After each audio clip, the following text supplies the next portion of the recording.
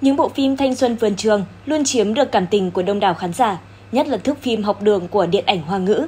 Nếu bạn yêu thích thể loại phim này, đừng bỏ qua top 12 bộ phim chúng mình giới thiệu sau đây nhé.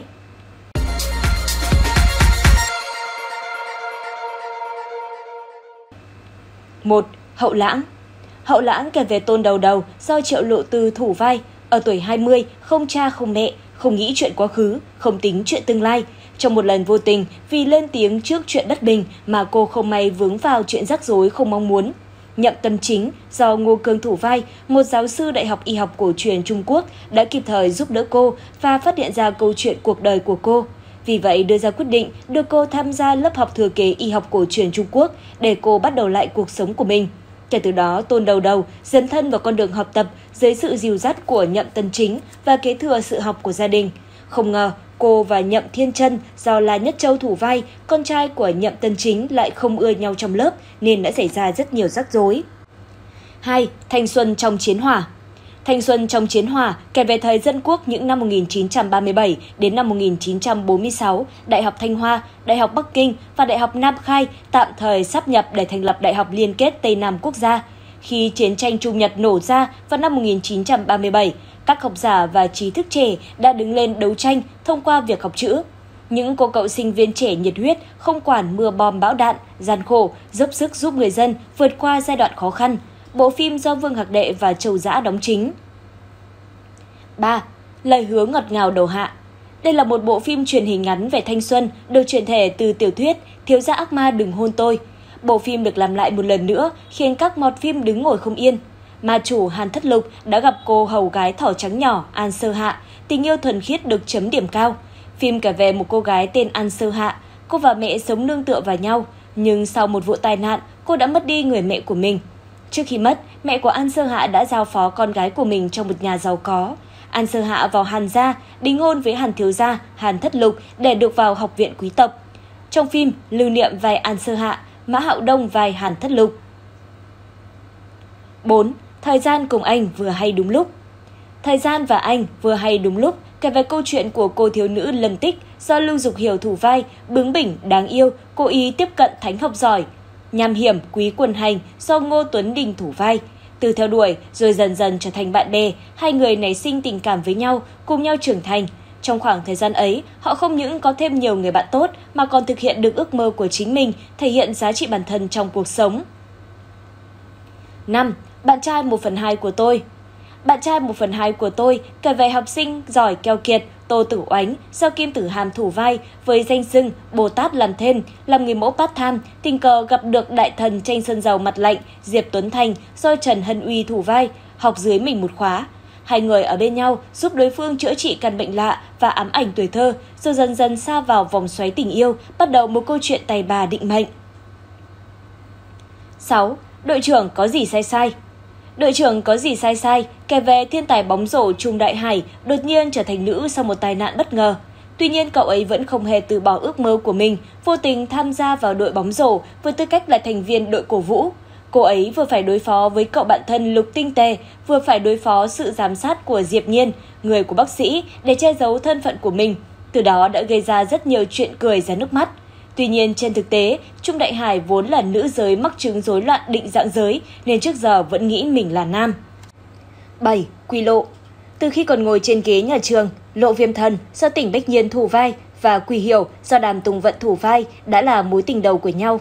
Nào ngờ, gia đình Quy Hiểu xảy ra biến cố, trong khi Lộ Viêm Thần lựa chọn trở thành cảnh sát. Tình cảm thấy áo trắng buộc phải đặt dấu chấm tại đây.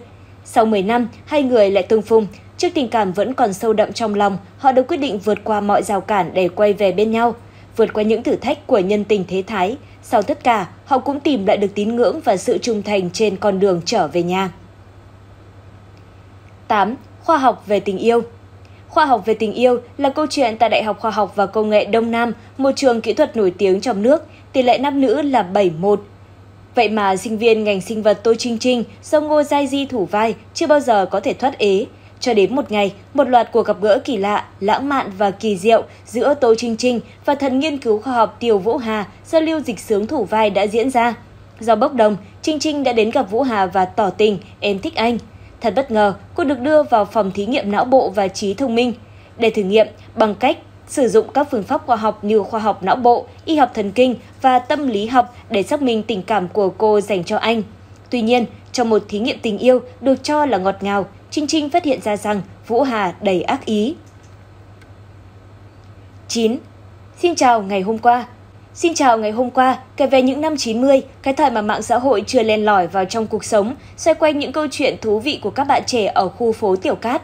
Họ bên nhau, cùng cười, cùng vượt qua khó khăn, cùng nhau trải qua thời thanh xuân tươi đẹp như ngắn ngủi, rồi lặng lẽ trưởng thành để đi tìm con đường của riêng mình. Bộ phim do Quách Tuấn Thân và Nhậm Mẫn đóng chính. 10. Hoa mùa hạ Hoa mùa hạ kể về quá trình học hỏi, yêu đương và trưởng thành của cô gái mang bệnh hài nhiễm ở giai đoạn cuối cùng của cuộc đời – sau khi gặp Tiêu Hàn, một thợ làm vườn nghệ thuật khó buông bỏ quá khứ và gần như mất niềm tin vào tương lai, hai người họ đã trải qua những cuộc gặp gỡ bất đắc dĩ nhưng lãng mạn, từ đó tìm lại được những điều mất mát quan trọng nhất trong cuộc đời của mình, tìm nhặt lại được niềm tin và hy vọng với cuộc sống, cũng như có được tình yêu khắc cốt ghi tâm. 11. Anh tới trễ từng ấy năm Khương Hỷ Lạc và Đinh Nhiễm từng là bạn học thời cấp 3. Sau khi tốt nghiệp, họ không còn liên lạc với nhau nữa. Sau này, trong một lần đi khám bệnh, Khương Hỷ Lạc gặp Đinh Nhiễm và cũng chính anh là bác sĩ khám bệnh cho cô. Mẹ Khương Hỷ Lạc quyết định tái hôn và người đàn ông mà bà chọn lại trùng hợp là cha của Đinh Nhiễm. Kể từ đây, nhiều câu chuyện giờ khóc giờ cười xảy ra. Liệu Khương Hỷ Lạc và Đinh Nhiễm sẽ đối mặt với mọi chuyện ra sao? Họ có dũng cảm thổ lộ tình cảm của mình dành cho đối phương hay quyết định chôn chặt trong lòng? Hãy xem phim để tìm lời giải đáp các bạn nhé!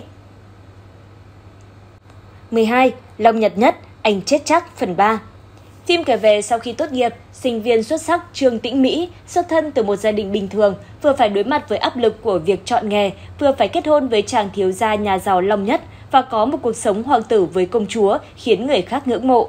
Tuy nhiên, cuộc sống giàu sang và con đường sự nghiệp không hề dễ dàng như trong tưởng tượng. Những thử thách trong cuộc sống liên tục ập đến với đôi vợ chồng son này.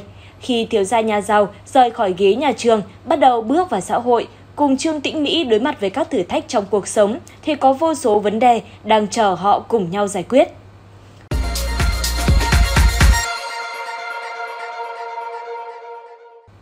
Vừa rồi là top 12 bộ phim ngôn tình thanh xuân vườn trường hoa ngữ mới hay nhất đã lên sóng trong thời gian gần đây. Bạn yêu thích bộ phim nào nhất? Đừng quên để lại comment cho chúng mình cùng biết nhé.